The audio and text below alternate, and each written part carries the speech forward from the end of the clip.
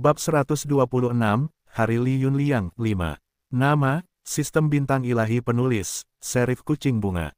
Plus mematikan mengatur ulang, www.novelhal.com, pembaruan tercepat dari bab terbaru Sistem Bintang Tingkat Dewa.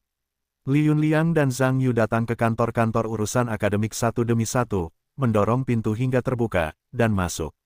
Ada beberapa orang di ruangan itu, termasuk dua polisi, Bu Changping dan dua staf kantor urusan akademik. Gu Changping melihat Li Yunliang masuk, memberi isyarat sambil tersenyum, dan berkata, Anda datang.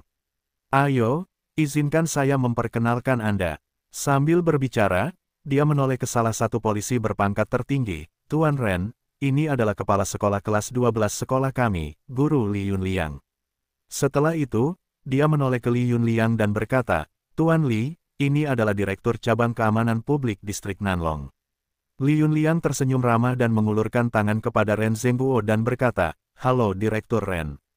Senang bertemu dengan Anda. Ren Zhengguo juga tersenyum dan menjabat tangan Li Yunliang, dan berkata, Guru Li yang baik. Gu Changping tertawa setelah melihat kedua orang itu berjabat tangan, Tuan Li. Berhenti berdiri, duduklah. Li Yunliang mengangguk, menarik kursi, dan duduk di hadapan kedua orang itu, tampak agak menahan diri. Dalam hatinya, Orang-orang ini adalah pemimpin, bagaimanapun juga, mereka harus bersikap hormat sebisa mungkin. Ren Zhenguo menatap Zhang Yu di belakang Li Yunliang dan tersenyum, Nona Li. Teman sekelas di belakang Anda seharusnya Zhang Yu, kan? Li Yunliang menunjukkan ekspresi pahit, menganggukkan kepalanya dengan berat, dan mendesah, ya. Orang yang Anda cari, adalah dia. Setelah itu, dia mengerutkan kening lagi, menunjukkan wajah. Benci besi menjadi baja, Ren Zhengguo tertawa dan berkata, Tuan Li, ini tentang hal yang sama. Tadi malam, teman sekelas Zhang Yu ini, Li Yunliang melambaikan wajahnya dengan getir, menyela pembicaraan Ren Zhengguo, dan berkata dengan bahasa yang berat, Direktur Ren. Mohon maafkan saya, sebelum itu, saya ingin mengucapkan dua kalimat, bolehkah? Ren Zhengguo sedikit tertegun, meskipun dia tidak tahu apa yang ingin dikatakan Li Yunliang, dia mengangguk dan berkata, ada yang ingin kau katakan terlebih dahulu. Li Yunliang menghela napas lagi dan berkata dengan wajah sedih, saya harus mengatakan bahwa saya telah terlibat dalam pendidikan selama bertahun-tahun, belum lagi dedikasi saya, tetapi juga ketekunan. Saya selalu teliti, serius, dan tidak menyia-nyiakan usaha dalam masalah pendidikan. Sedangkan untuk siswa, saya selalu meminta diri saya dengan sikap cermat dan teliti. Namun, sebagai guru rakyat, seorang pendidik yang telah mengabdikan seluruh hidupnya untuk pendidikan. Saya masih memiliki banyak hal yang harus dilakukan, tidak cukup. Sekarang setelah hal seperti itu terjadi, kita dapat melihat bahwa fokus kerja saya yang biasa salah dan tidak teliti. Bagi saya di masa lalu, saya terlalu memperhatikan prestasi akademik siswa, tetapi mengabaikan kualitas pribadi dan arah pertumbuhan siswa. Sebenarnya, saya, saya benar-benar merasa bersalah. Setelah berbicara, dia masih memiliki ekspresi pahit di wajahnya. Mereka yang tidak tahu benar-benar mengira dia sedih. Zhang Yu mendengarkan tetapi memutar matanya, apa yang dia katakan. Lao Li, mereka yang peduli tentang itu. Ren Zhengguo benar-benar berwarna, mengangguk, dan mendesah, dengarkan Tuan Li. Saya juga sangat tersentuh. Dapat dilihat bahwa Tuan Li adalah guru yang baik yang benar-benar mempertimbangkan siswa, itulah yang perlu kita pelajari dan pelajari dari tempat itu. Gu Changping juga tersenyum dan menyela, ya. Guru Li Yunliang telah menjadi salah satu guru luar biasa di sekolah kita selama bertahun-tahun. Belum lagi Tao Liman di dunia, tetapi juga guru yang baik yang bersedia bekerja keras dan bersedia melakukannya. Untuk ini, urusan pendidikan dan para pemimpin sekolah, pandangannya sebenarnya sama. Petik 2. Li Yunliang hampir tidak tertawa saat mendengar ini. Dia menekan hatinya dan ingin melompat keluar karena dorongan hati, dan terus berpura-pura membenci besi dan baja, dan berkata, terima kasih atas pujian dari kedua pemimpin. Atas persetujuan kedua pemimpin, saya benar-benar sungguh memalukan. Zhang Yu berdiri di samping dengan wajah lucu, berbicara secara diam-diam. Litua ini, bukankah baik bagimu untuk mengobrol? Banyak omong kosong, membenciku yang kamu katakan sebelumnya, diam-diam, apakah menarik untuk mengatakan omong kosong ini? Ren Zhengguo tertawa, Tuan Li, sebenarnya, Anda adalah guru yang baik yang dihormati semua orang. Jika Anda begitu bersalah, maka itu seperti kami, dan kami sangat membutuhkan guru yang baik seperti Anda untuk mengirimkan bakat kepada kami. Bukankah kami bahkan lebih bersalah? Dengarkan saya, jangan mengambil terlalu banyak beban, dan ada lebih banyak siswa baik yang membutuhkan bantuan Anda. Petik 2. Terima kasih, Tuan Ren. Li Yunliang tergerak dengan tatapannya. Mengapa Anda di sini kali ini? Saya sudah tahu. Terlepas dari apa yang dilakukan Zhang Yu, pada dasarnya dia adalah anak yang baik. Mungkin aku biasanya tidak cukup peduli padanya dan kurang memperhatikan detail hidupnya. Aku sangat berharap bahwa setelah membawanya pergi, kamu dapat mendidiknya dengan baik, membimbingnya menuju kebaikan, dan membiarkannya menjadi pria lagi. Dengan cara ini, itu juga dapat meringankan rasa bersalahku terhadapnya, seluruh sekolah, dan masyarakat. Zhang Yu mendengar ini dan hampir tidak pingsan. Lao Li, kamu sangat pemalu.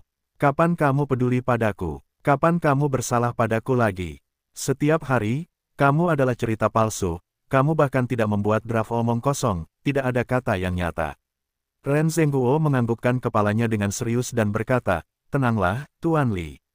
Tim kami juga telah mempelajari masalah ini dengan saksama. Kami menegaskan keberanian Zhang Yu untuk melawan kekuatan jahat. Selain itu, menurut penyelidikan, Zhang Yu adalah pemuda yang baik yang telah melihat kesukarelaan berkali-kali.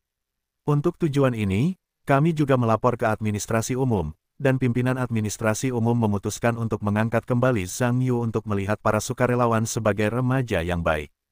Pada saat yang sama, ia merekomendasikan Zhang Yu untuk mewakili kami di kota Zonghai, berpartisipasi dalam pemilihan individu tingkat lanjut untuk provinsi tersebut. Saya percaya bahwa Zhang Yu pasti akan membawa kehormatan bagi kelas Anda, dan pada saat yang sama membawa kehormatan bagi Anda, seorang guru yang baik yang dapat dikatakan sebagai pohon selama 10 tahun dan pohon selama 100 tahun. Petik 2. Terima kasih. Terima kasih Direktur Ren. Ini tentang, eh, ini. Berbicara tentang ini, Li Yun merasa ada yang tidak beres, dan berkata dengan ekspresi aneh, Hei Direktur Ren, apa yang Anda katakan tentang Zhang Yu tadi? Di sini, apa? Apa itu? Petik 2. Ren Zhengguo mengira Li Yunliang tidak mendengarnya dengan jelas, dan tertawa, berani melawan kekuatan jahat tanpa mempedulikan bahayanya sendiri adalah tindakan yang benar. Para siswa harus cukup berani untuk melawan empat gangster sendirian, tanpa mempedulikan keselamatan pribadi mereka, dan pada saat yang sama menjadi pencegah bagi para pengedar kejahatan. Kesombongan ini, ini bukanlah apa yang benar, apa itu? Anda tahu, Salah satu dari mereka adalah tersangka pembunuhan di sistem keamanan publik provinsi kita. Siswa Zhang Yu, Anda telah melakukan pekerjaan yang hebat kali ini.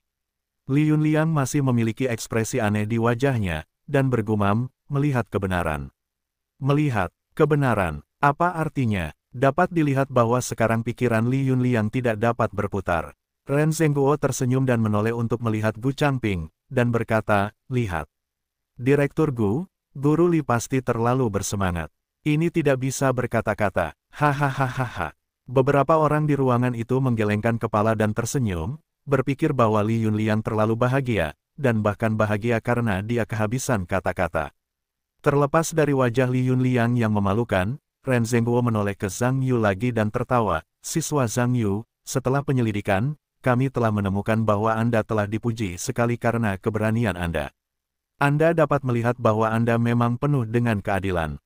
Kali ini, para pemimpin administrasi umum awalnya meminta saya untuk memberitahu Anda, dan mengundang Anda untuk pergi ke administrasi umum selama beberapa hari pada saat yang sama, untuk merekomendasikan Anda untuk kedua kalinya, dan untuk memberi Anda sertifikat dan bonus lagi, tentu saja. Ada hadiah untuk membantu menindak tegas dugaan pembunuhan itu. Tetapi saya baru saja berbicara dengan Direktur GU beberapa saat yang lalu.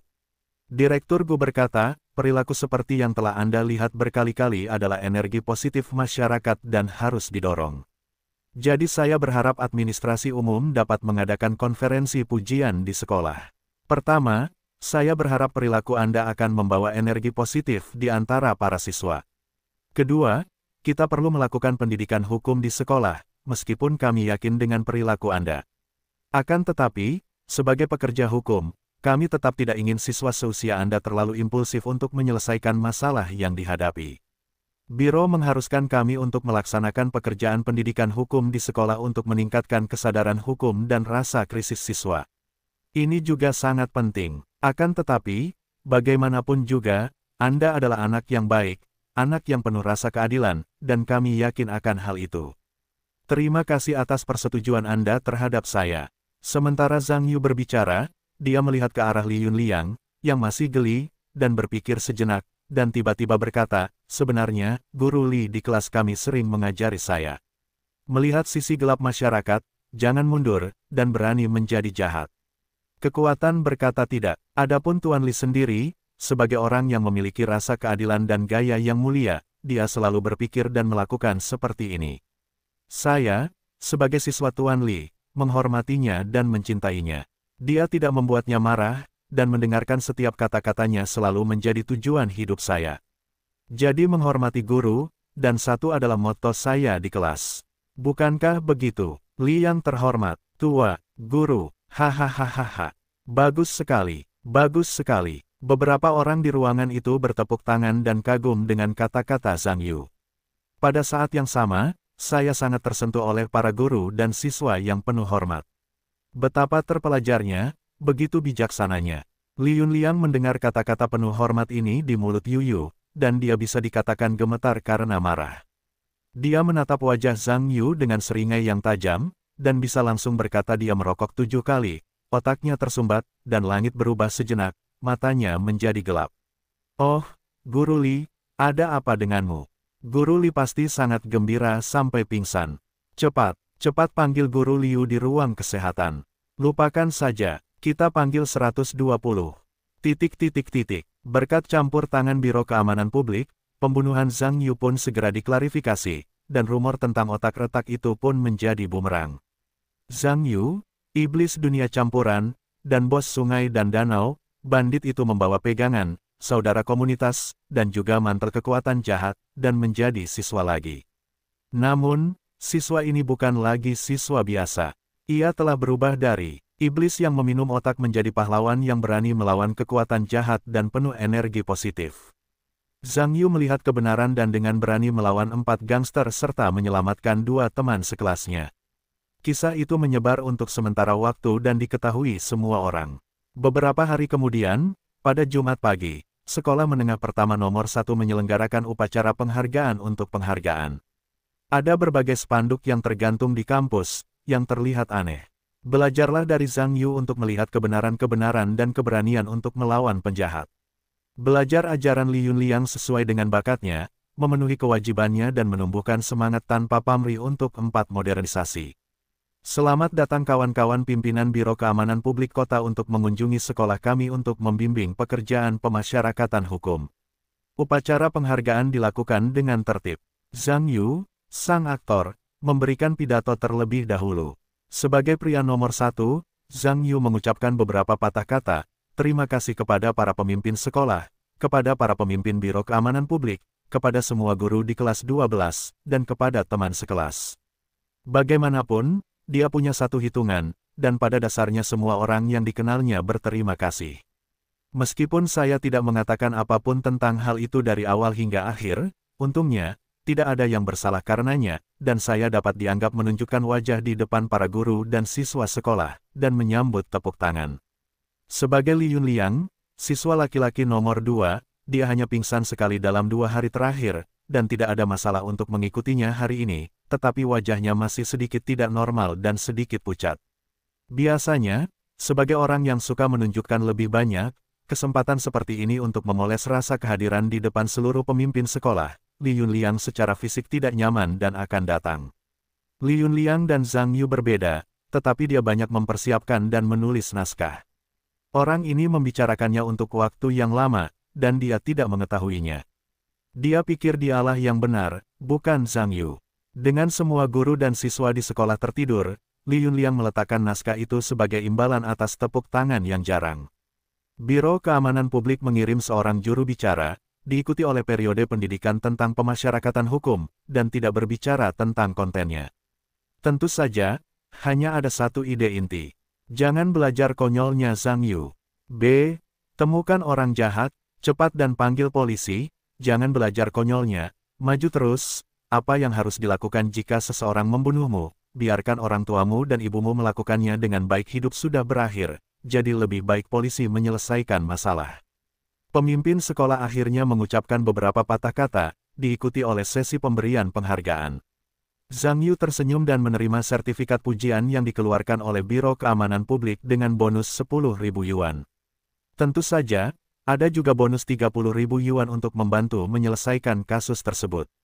Total bonus adalah 40.000 yuan, yang juga merupakan kekayaan kecil. Li Yunliang juga menerima bonus 5.000 yuan dari sekolah. Itu juga dihitung sebagai lorong besar di lorong dan mengambil ponsel, yang membuatnya merasa tertekan dan sangat lega. Setelah penghargaan selesai, badai berlalu, dan sekolah menengah nomor satu kembali ke keadaan tanpa angin dan ombak. Melihat keberanian mengakhiri badai, Zhang Yu melanjutkan kehidupan yang damai. Titik-titik-titik, setiap minggu sore, kecuali kelas 3, tutup. Zhang Yu baru-baru ini menguasai dua mata pelajaran, matematika dan fisika, dan akan mulai mengerjakan bahasa Mandarin. Untuk mengatakan bahasa Mandarin Zhang Yu masih bagus, tetapi bagaimanapun juga, pendidikan berorientasi ujian, jawabannya harus menjadi jawaban standar, bahkan jika Anda membuat kesalahan. Oleh karena itu, tidak cukup hanya dapat membaca dan membaca koran atau bahkan menulis prosa dengan dua tangan. Itu harus memenuhi aturan tertentu. Mempelajari bahasa Mandarin sekarang menjadi fokus pembelajaran Sang Yu. Sejujurnya, tidak mudah untuk mempelajari mata pelajaran apa pun dengan serius tentu saja, Sejak matematika tahun demi tahun, sebagian besar konten bahasa Mandarin sebenarnya dihafal, dan sisanya hanya beberapa pertanyaan analisis. Selama latar belakang dasar dipersiapkan dengan baik, bagi Zhang Yu, yang tidak pernah melupakannya, bagaimana mengatakannya lebih baik daripada matematika. Tetap sederhana, tidak lama setelah Zhang Yu kembali ke rumah, telepon berdering dan mengangkatnya. Itu adalah nomor Xia Ziki, dan panggilan itu tersambung. Kakak Xia, ada apa? Zhang Yu, izinkan saya memberitahu Anda tentang hal seperti itu. Bagaimana dengan kepala kita, kepala grup lagu dan tari kota? Dia adalah ketua asosiasi musisi Zonghai. Pawai kemenangan Anda juga merupakan api baru-baru ini, kepala kami juga mendengarkan. Dia pikir Anda memenuhi syarat untuk bergabung dengan asosiasi musisi Zonghai dan menjadi anggota.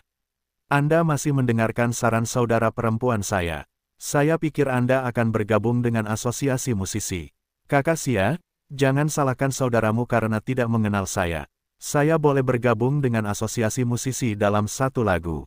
Saya seorang musisi. Tidak, oh, kamu, seberapa tinggi menurutmu ambang batas asosiasi musisi? Kamu perlu tahu bahwa kamu hanya bergabung dengan asosiasi musisi Zonghai, bukan asosiasi musik nasional. Kota kita, bahkan provinsi tidak dapat dibandingkan. Kamu tapi jangan remehkan lagumu. Lagumu sekarang dapat dikatakan sangat populer. Untuk mengatakan bahwa skala kota Zonghai kita sebenarnya baik-baik saja, tetapi bagaimanapun juga, kita bukanlah kota tingkat pertama dan asosiasi musik tingkat provinsi. Kita tidak dapat dibandingkan dengan asosiasi musik tingkat nasional. Jadi lagu-lagu aslimu di level ini sudah menjadi level tertinggi dari lingkaran musik Zonghai kita. Selama beberapa tahun terakhir, Asosiasi Musik Kota Zonghai dapat mengatakan bahwa hijau dan kuning tidak berhubungan, dan tidak ada hal baik yang dapat diperoleh. Jika tidak, kepala tim kita tidak dapat mendengarkan orang anehmu di kota, dan segera ingin mengundangmu ke asosiasi musik. Sebenarnya, kamu tidak ingin menganggapnya terlalu tinggi. Asosiasi musik memiliki ide-idenya sendiri. Jika asosiasi musik kota kita dan asosiasi musik kota lainnya memiliki kegiatan komunikasi, mereka juga dapat menampilkan lagu-lagu Anda. Lebih baik mengatakan bahwa itu adalah karya anggota Asosiasi Suara Kota kita. Selama bertahun-tahun, Asosiasi Suara Kota tidak memiliki apa pun yang dapat digandeng. Itu jauh lebih kuat. Sederhananya adalah dua kata, wajah. Petik 2. Analisis Xiaziki terhadap analisis Zhang Yu sangat menyeluruh. Zhang Yu mengangguk terus-menerus, yang ternyata memang demikian. Itu terasa di dalam hatiku. Di tempat kecil seperti lingkaran seni Zonghai, di mana kualitas populasi yang komprehensif ditempatkan, itu tidak ada bandingannya dengan tingkat provinsi, belum lagi tingkat nasional. Ini, kalau begitu aku tidak akan kesulitan untuk bergabung dengan asosiasi musik. Tidak masalah, kamu di sini, bawa kartu identitas, dan tinggal daftar. Tapi aku tidak punya waktu. Aku punya waktu hari ini, aku libur di minggu sore. Apakah asosiasi musik tidak boleh istirahat di hari minggu? Itu saja. Hem, tidak apa-apa, kamu berikan aku kartu identitasmu di depan dan belakang, dan aku akan meminta kepala untuk mengaturnya untukmu.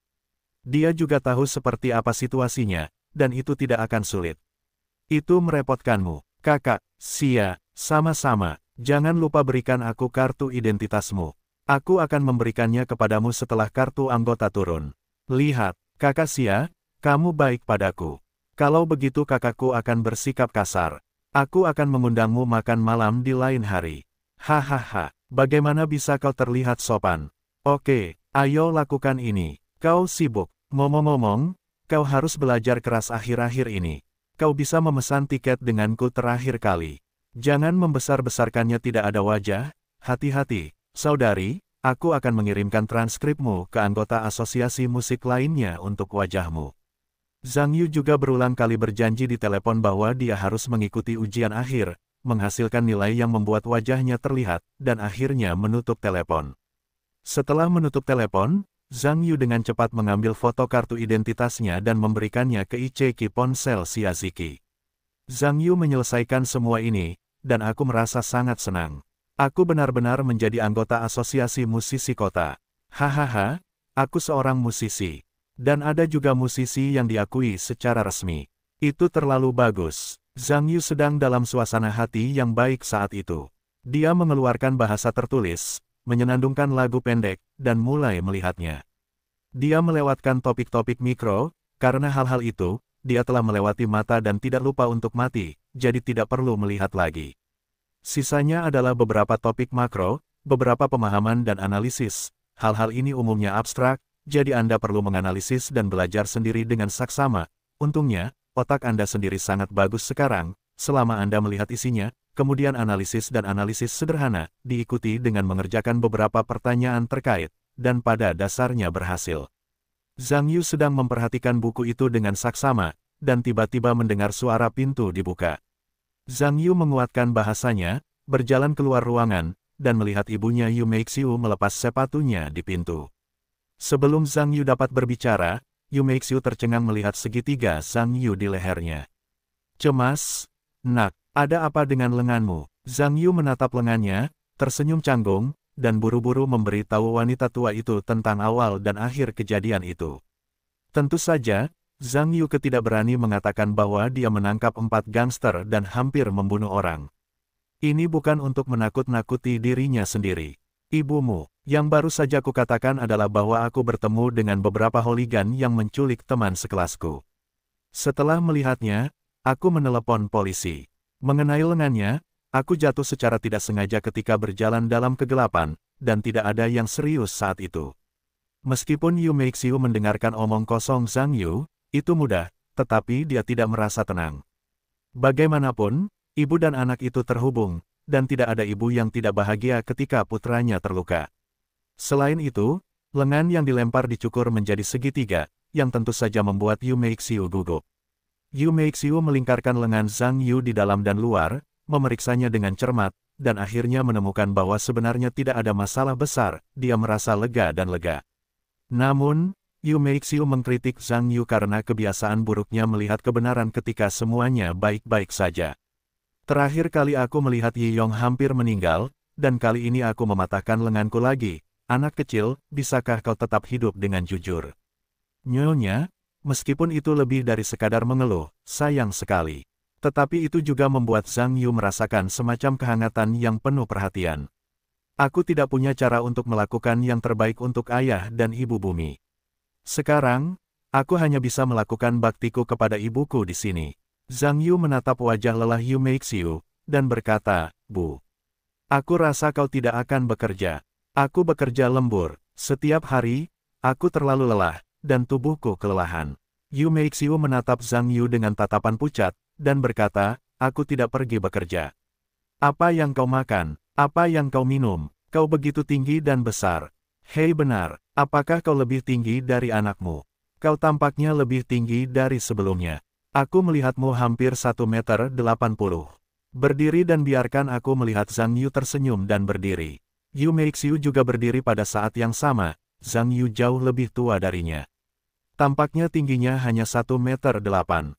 Ini mengejutkan Yu Meixiu. Anda harus tahu bahwa tempo hari, Zhang Yu tumbuh hingga 1,17 meter, dan dia sudah terkejut. Dalam sekejap mata, tingginya menjadi 8 meter lagi. Ini terlalu dibesar-besarkan. Jangan menjadi raksasa. Yu Meixiu sekarang sedikit khawatir. Saya harus mengatakan bahwa anak saya pendek sebelumnya, dan dia khawatir akan sulit menemukan seseorang di masa mendatang. Yang ini terlalu tinggi, dan saya khawatir lagi, membuatnya tampak seperti tiang kawat besar, bukankah sulit menemukan seseorang? Yu Meixiu mengerutkan kening, dan berkata, Zhang Yu, jangan tidak sehat, tinggi badanmu bertambah terlalu cepat. Atau, mari kita pergi ke rumah sakit untuk memeriksanya. Ibu sedikit khawatir. Tentu saja Zhang Yu tahu apa yang sedang terjadi, dan tersenyum serta berkata, tidak apa-apa, Bu. Ibu pikir aku tidak khawatir. Aku pergi ke rumah sakit terakhir kali. Dokter juga memeriksaku dan berkata bahwa aku tumbuh normal, kualitas tulang dan indikator fisik normal. Dan orang-orang berkata bahwa itu akan tumbuh menjadi 1,99 dalam beberapa bulan, itu tidak masalah. Bu, jangan takut. Lagi pula, tubuhku adalah milikku sendiri, aku tidak merasakan sesuatu yang tidak nyaman. Zhang Yusun menulis omong kosong untuk meyakinkan ibunya. Yu Meixiu berkata, benarkah palsu? Ibu benar-benar pergi. Zhang Yu berkata, aku benar-benar akan pergi, Bu. Aku naik turun seperti jerapah setiap hari, tidak bisakah aku melihatnya? Apakah ibu pikir aku tidak takut? Yu Meixiu ditipu oleh Zhang Yu, dia pun menyingkirkan kekhawatirannya, tersenyum dan berkata, ya. Bagaimana mengatakannya, tinggi, tampan. Hanya satu meter delapan, tapi jangan satu meter sembilan, itu terlalu tinggi, jauh lebih tinggi dari ibumu yang sudah tua. Ini juga tidak tampan. Zhang Yu tertawa, kelihatannya bagus. Ibu tuaku adalah ibu tua paling tampan di dunia. Aku ingin mengatakan bahwa tidak ada seorang pun di dunia ini yang terlihat bagus untukmu. Yu Meixiu mendengarkan dengan hati yang gembira dan tertawa, anak nakal. Kamu bisa menipu ibumu. Baiklah, kamu pasti lapar. Ibumu akan memasak untukmu. Zhang Yu berkata, baiklah, ayo kita makan di luar. Ayo makan sesuatu yang enak. Aku mencari restoran barat terbaik. Bagaimana dengan makanan barat? Yu Meixiu berkata, jangan bicara omong kosong. Juga restoran barat terbaik, apakah kamu tahu berapa biaya untuk sekali makan? Zhang Yu tertawa, tenang saja, nona tua. Tidak akan menghabiskan ribuan dolar. Bahkan jika Anda minum anggur yang enak, 10.000 yuan akan turun. Yu Meixiu mendengar betapa tua bosnya, melotot seperti ini, berkata, apakah Anda tahu apa yang Anda bicarakan? Turun 10.000 yuan, ibumu dan aku tidak bekerja lembur, dan aku tidak akan menghasilkan 10.000 yuan dalam dua bulan. Ah, kamu benar-benar tidak bertanggung jawab dan tidak mengenal Chai Migui, nak. Zhang Yu tersenyum dan berkata, Ibu, aku hanya ingin memberitahumu satu hal. Aku, sekarang aku adalah seorang streamer di situs video, dan aku memiliki sedikit penghasilan selama sebulan. Dikatakan bahwa itu dapat digunakan untuk mengganti biaya rumah tangga. Jadi aku harap kamu masih mempertimbangkan pendapatku, pekerjaanmu yang melelahkan dan tidak dibayar, lebih baik tidak melakukannya, itu terlalu melelahkan dan kamu tidak dapat menghasilkan sedikit uang. Yu Meixiu mengerutkan kening, dan ekspresinya menjadi sedikit tidak senang. Berkata, apa yang kamu katakan? Apa itu ancor? Apa yang kamu lakukan? Sebagai seorang siswa, kamu tidak bersekolah dengan baik, dan apa itu ancor? Kamu memberitahu aku dengan jelas. Zhang Yu berkata, jangan khawatir tentang aku.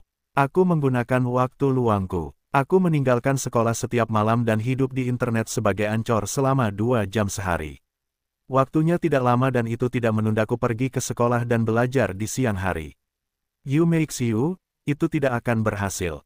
Kamu pergi ke sekolah sampai jam 9 malam, dan kamu harus menjadi penyiar selama dua jam. Apakah kamu punya waktu untuk mengerjakan pekerjaan rumah? Zhang Yu berkata, aku menyelesaikan semua pekerjaan rumahku selama belajar mandiri di malam hari. Tidak apa-apa untuk pulang malam. Penyiar yang tidak tepat, tetapi juga duduk. Menganggur dan menganggur, dapatkan uang tambahan, jadi aku bisa menafkahi keluargaku. Yu Meixiu berkata dengan tidak senang, siapa yang memanfaatkanmu untuk menafkahi keluarga? Keluarga tidak cukup untukmu. Keluarga kita tidak mampu makan makanan barat seharga 10.000 yuan, dan biasanya membaik sesekali. Tidak ada yang salah dengan itu. Penyiar seperti apa yang bisa kamu hasilkan? Lebih banyak uang, siapa di keluargamu yang sama dengan keluargamu? Zhang Yu berkata, tidak seribu dua ribu, lebih dari itu. Yu Meixiu berkata, bahkan tidak dua ribu tiga ribu. Lelah dengan tubuhmu, apa yang bisa kamu lakukan dengan ibu selama sisa hidupnya? Zhang Yu berkata, tidak 2000-3000, lebih dari itu. Yu Meixiu mengerutkan kening, dan berkata, lebih. 3000-5000. Zhang Yu berkata, lebih. Yu Meixiu berkata, 81 juta. Zhang Yu berkata, lebih. Yu Meixiu sedikit marah, dan berkata, bocah bau, apakah kamu bercanda? Lebih dari 10 ribu sebulan, kamu merampok uang.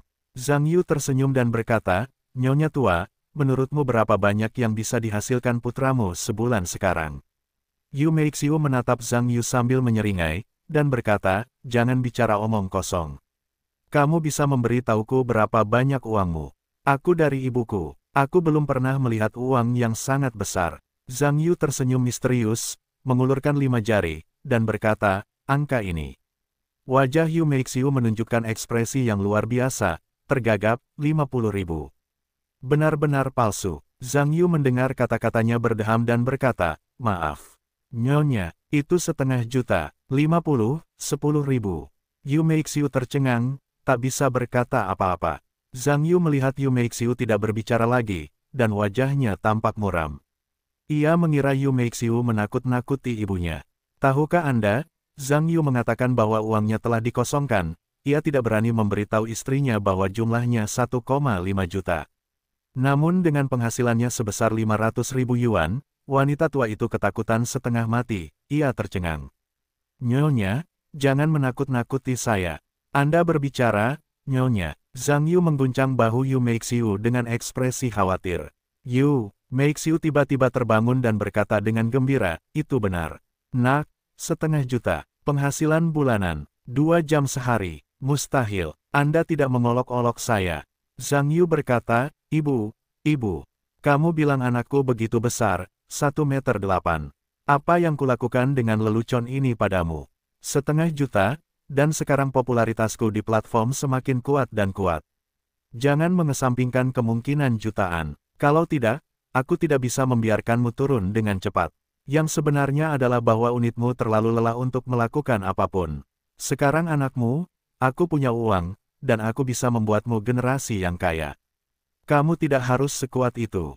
Tidak mungkin. Petik 2. Yu Meixiu menatap Zhang Yu dengan tatapan pahit. Aku tidak menyangka bahwa suara putranya adalah tentang 500 ribu yuan sebulan. Penghasilan satu bulan, penghasilan 100 bulan. Yu Meixiu berkata, Nak, bukan ibu yang tidak mau mendengarkanmu, tetapi kamu ingin aku mengundurkan diri, jadi apa yang akan aku lakukan? Aku tidak punya apa-apa untuk dilakukan maaf. Pembaruan agak lambat, saya memiliki sesuatu pagi ini, dan saya kembali pada siang hari, dan naskah tidak punya waktu untuk diperbaiki. Mungkin bahkan sedikit lebih lambat, semua orang akan meluangkan waktu sebentar. Titik titik titik. Zhang Yu melihat ekspresi Yu Meixiu yang tidak tahu apa-apa, dan tersenyum, mengapa tidak melakukannya. Saya memberimu setengah juta sebulan. Kamu dapat menghabiskan apa pun yang kamu inginkan. Pergi keluar dan bepergian setiap hari, habiskan seluruh waktumu untuk minum, makan, minum, bertaruh, dan membesarkan wajah putih kecil. Dunia bunga, apa yang tidak bisa dilakukan? Ketika Yu Meixiu mendengar kata-kata itu, dia menunjukkan ekspresi kesal, dan memukul Zhang Yu, berteriak dengan putranya, sayang, dan berteriak, omong kosong. Kamu kelinci kecil, Zhang Yu menahan rasa sakit dan tertawa, ibu. Katakan padamu, jangan panggil anakmu kelinci. Dari sudut pandang genetik, ini tidak baik untukmu. Ups, sialan, aku salah, aku salah. Ibuku, aku tidak akan pernah mengatakannya lagi. Yu Meixiu menatap Zhang Yu yang terus-menerus memohon belas kasihan, dan melonggarkan penjepit besi di tangannya, dan berkata, bocah bau. Jika kamu punya uang, kamu akan menjadi sapi. Biarkan aku memberitahumu. Jika kamu punya uang, aku akan membantumu, menikahi seorang istri, membeli rumah. Kamu tidak boleh mengambilnya. Tahu, Zhang Yu mengangguk dan berkata, aku tahu. Aku tahu, aku akan memberimu semua uang. Ngomong-ngomong, apakah kamu ingat bahwa kamu tidak terlalu menyukai desain busana? Kalau tidak, aku akan pergi ke Jingcheng untuk mencari sekolah desain busana. Belajar lebih lanjut, kembalilah ke putramu untuk mendapatkan uangmu, buka toko pakaian besar, rancang pakaianmu sendiri. Bagaimana dengan mewujudkan impianmu ketika kamu masih muda? Sedikit menarik. Petik 2. Yu Meixiu mendengarnya menggigit bibirnya. Sekarang Zhang Yu berbicara tentang pikirannya sendiri. Yu Meixiu pernah bermimpi menjadi perancang busana. Ketika dia masih muda, dia ingin mengenakan gaun pengantinnya sendiri ke gedung pernikahan. Tentu saja, mimpi itu penuh, dan kenyataan itu tipis. Yu Meixiu telah menjalani kehidupan pernikahan yang tidak bahagia, dan setelah bertahun-tahun mengalami pasang surut sosial, sekarang mimpinya berangsur-angsur terlupakan dan menghilang. Namun bagaimanapun juga, dia juga orang yang memiliki mimpi pada awalnya. Sekarang, selama dia melihat para perancang di pabrik dan mengeluarkan beberapa produk, dia merasa gatal. Meskipun dia juga bisa mendesain dan mendesain, tetapi dibandingkan dengan yang lain, dia masih memiliki celah yang tidak kecil.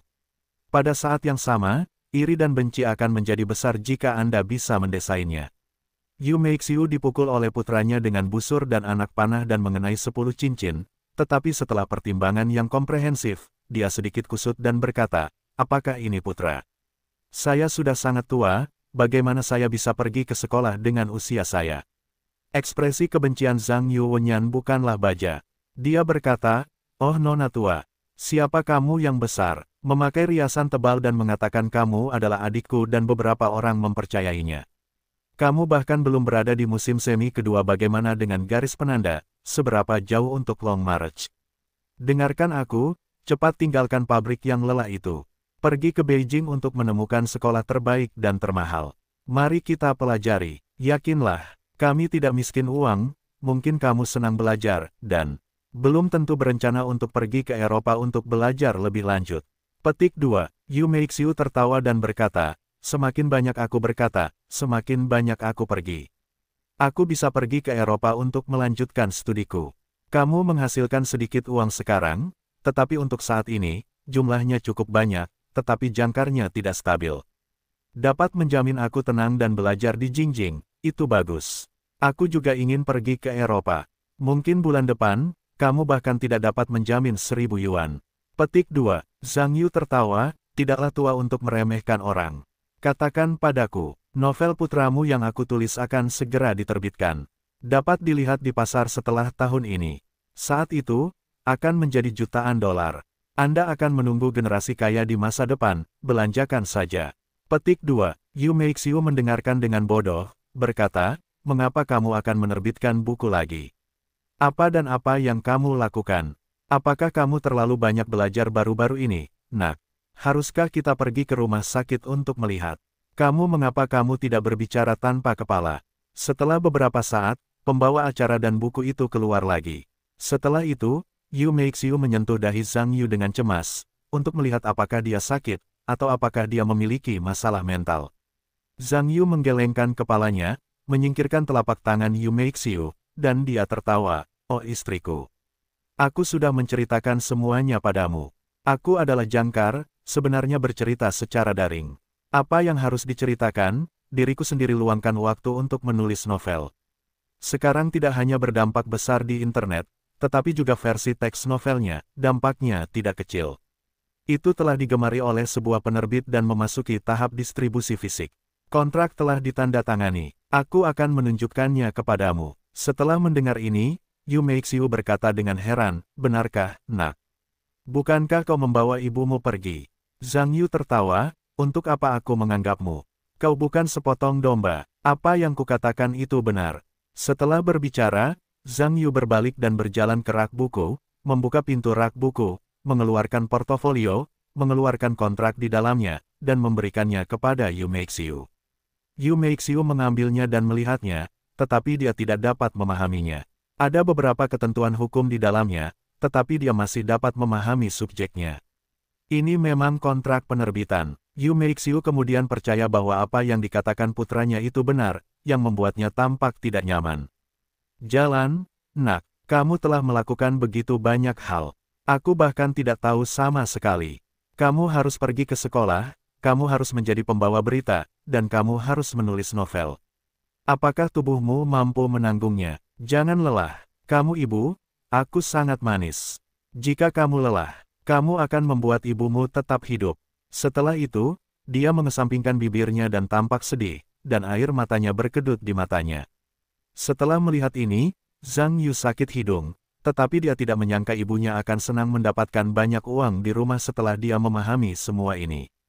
Ini tentang mengkhawatirkan tubuhmu dan tampak sangat sedih. Ketika Zhang Yu melihat pemandangan ini, matanya juga merah. Wen berkata, Bu, tenang saja, tubuh anakmu, ibu juga sudah melihatnya, kuat, ibu lihat tikus kecil di bisepku. Sudah menjadi tikus besar, aku sudah bilang sebelumnya bahwa anakku sudah tumbuh besar dan tidak perlu lagi berjalan di sudut pakaianmu. Aku akan membawa ini pulang di masa depan, dan juga ibumu. Aku membuat semua orang iri, cemburu, dan benci, jadi ibu bisa memberitahu semua orang dengan bangga. Aku punya anak yang baik, anak yang berbakti, anak yang membuatmu sangat bangga. Air mata Yu Meixiu tidak terkendali saat ini, dia terus mengalir di pipinya, dia tidak bisa mengatakan apa-apa, dia hanya menangis. Kamu harus tahu, bahwa Yu Meixiu telah sendirian selama bertahun-tahun dengan seorang anak laki-laki, dan kerja kerasnya sulit untuk dikatakan dengan jelas. Zhang Yu juga memiliki mata merah dan hidung masam. Meskipun dia berasal dari bumi, bagaimanapun juga, dia telah mengintegrasikan ingatan Zhang Yu di sini, dan perasaannya yang sebenarnya terhadap ibu dan anak Yu makes you juga benar. Dari sudut pandang praktis, Zhang Yu, orang tua bumi sendiri tidak bisa berbakti. Semua bakti saya hanya bisa diserahkan kepada ibu Yu makes you. Dan satu-satunya keinginannya sekarang adalah berharap Yu makes you bisa bahagia dan bahagia sepanjang hidupnya. Yu makes you menangis sebentar, menyeka air matanya. Sebagai seorang wanita yang telah menanggung tekanan keluarga selama bertahun-tahun, dia tampaknya menangis, yang membuatnya sangat aneh.